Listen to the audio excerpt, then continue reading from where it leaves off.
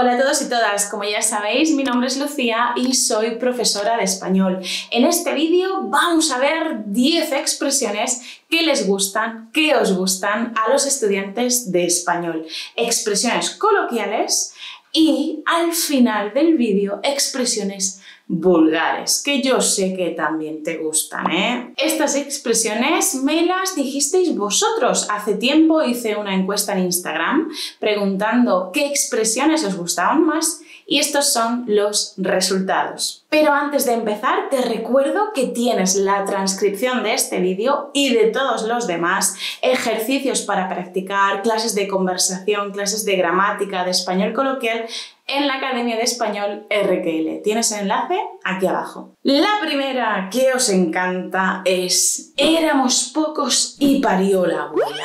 Y como ya te la he explicado en este otro vídeo, no te la voy a volver a explicar.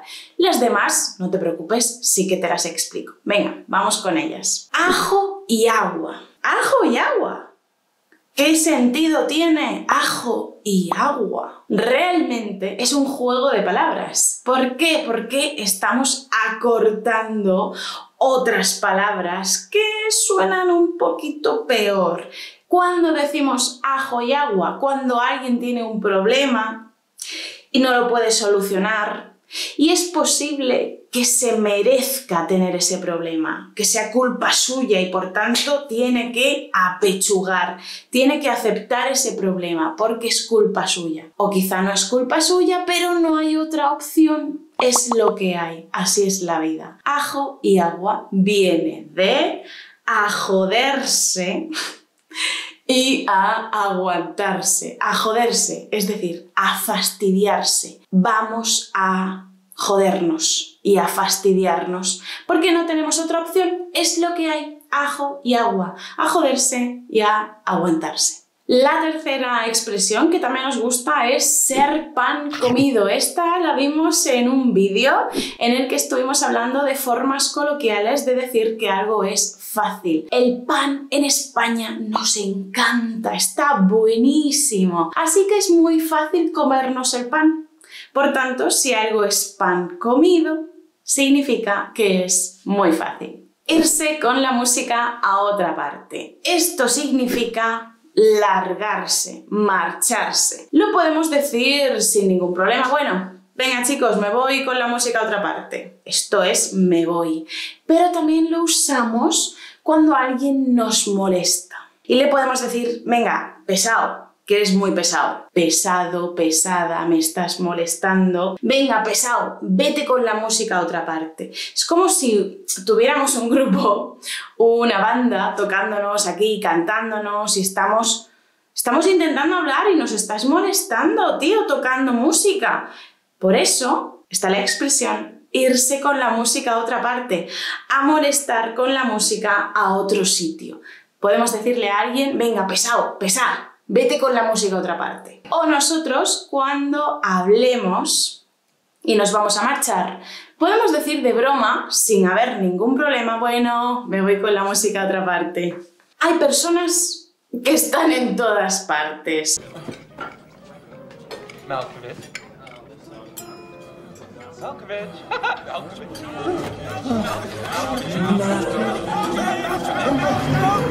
Pueden ser políticos, actores, cantantes, cualquier persona que esté en todas partes en nuestro entorno o, a nivel nacional, me da igual, decimos que está hasta en la sopa. Es una persona que ves es en todas partes, que te encuentras en todas partes hasta en la sopa, es decir, estás comiéndote una sopa o bebiéndotela y está ahí el tío también, también está en la sopa. Así que cuando alguien está hasta en la sopa, significa que está en todas partes. Quizá es un amigo que te cruzas todos los días, a todas horas, o quizá es una persona pública, como te decía, un actor, un político, un cantante, al nivel que tú quieras, una persona a la que ves mucho, está hasta en la sopa. Una frase que me encanta porque me parece bonita, en cierta manera, es algo brilla por su ausencia. Cuando nos damos cuenta inmediatamente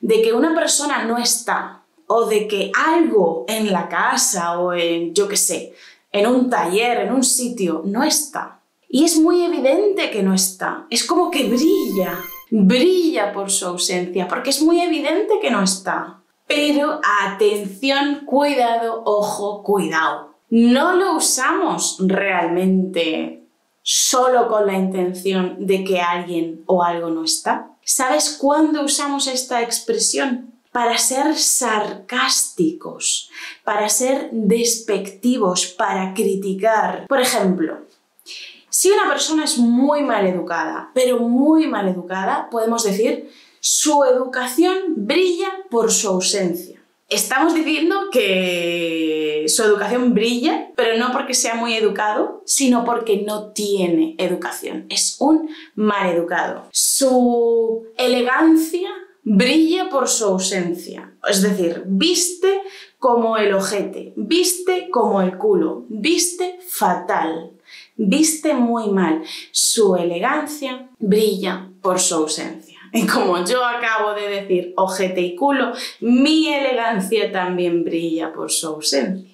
Cuando un político no está presente, por ejemplo, recuerdo a Mariano Rajoy, al, al expresidente del gobierno de España, muchas veces no iba a los debates, quizá porque tenía cierto respeto, miedo a enfrentarse en un debate con otros políticos. No iba a los debates, a veces no hacía declaraciones en vivo, sino que había una pantalla y aparecía el presidente hablando desde el otro lado de la pantalla unas cosas curiosas, ¿no? Pues podemos decir en ese caso que el presidente brillaba por su ausencia, porque es que no, no estaba presente. Y empezamos, chicas y chicos, con las expresiones vulgares, que yo sé que os gustan mucho.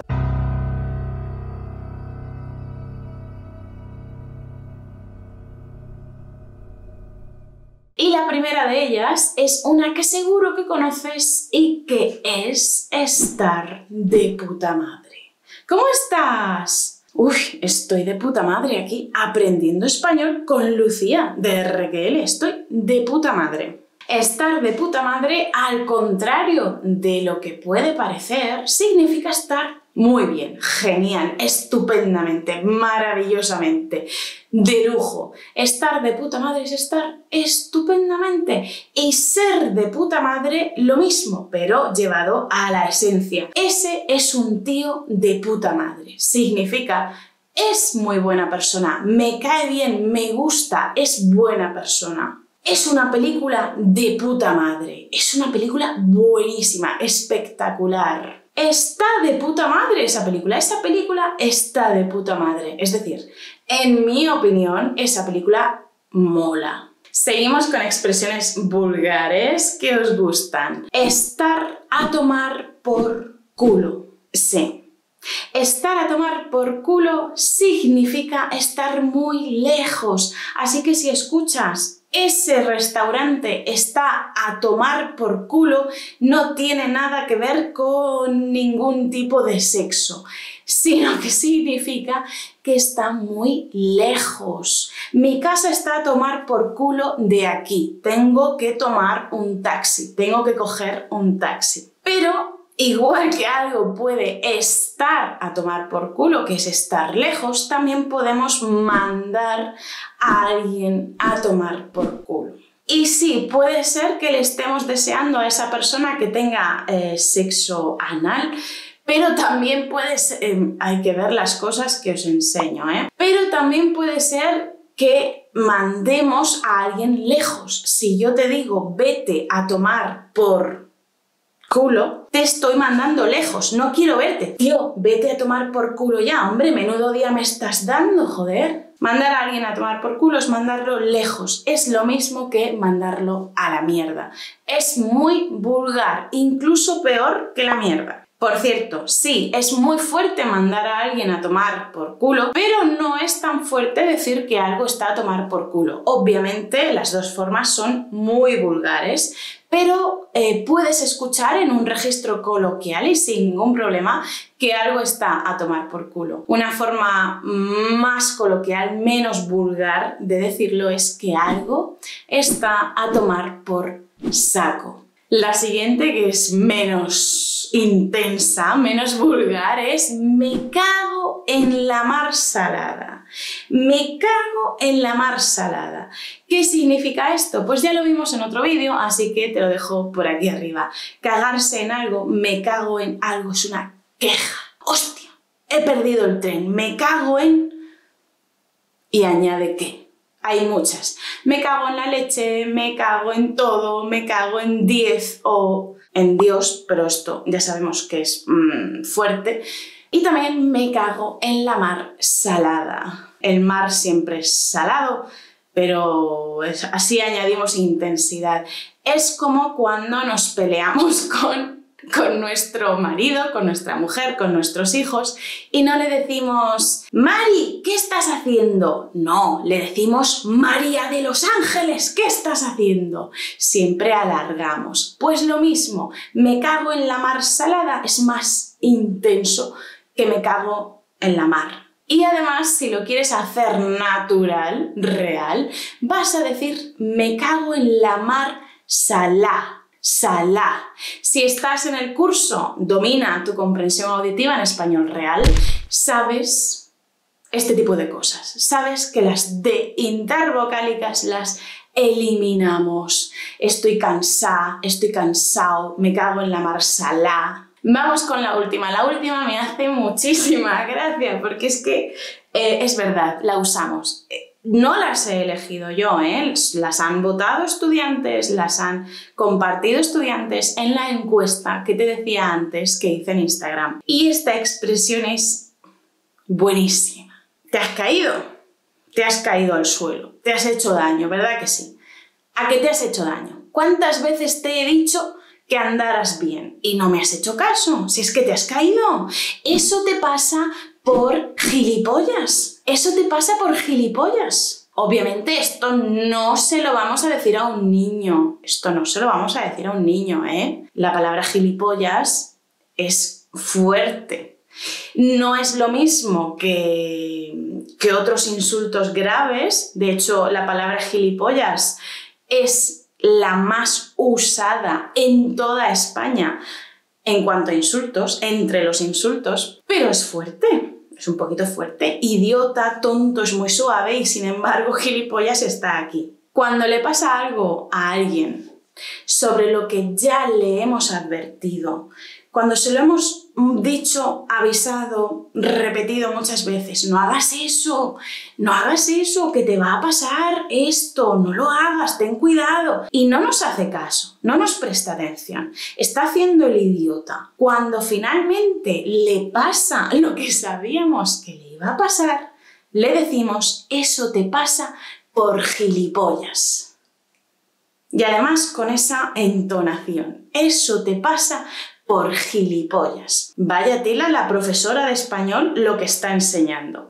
Pero bueno, no pasa nada. Si te gusta me lo tienes que decir en los comentarios. Si te gustan estas expresiones vulgares, coloquiales, si te gusta este tipo de contenido, me tienes que dar un me gusta y me tienes que dejar un comentario porque si no, yo no lo sé. Y sin más, te recuerdo que tienes la transcripción y ejercicios para practicar en la Academia de Español RQL. Nos vemos en el próximo vídeo. ¡Adiós!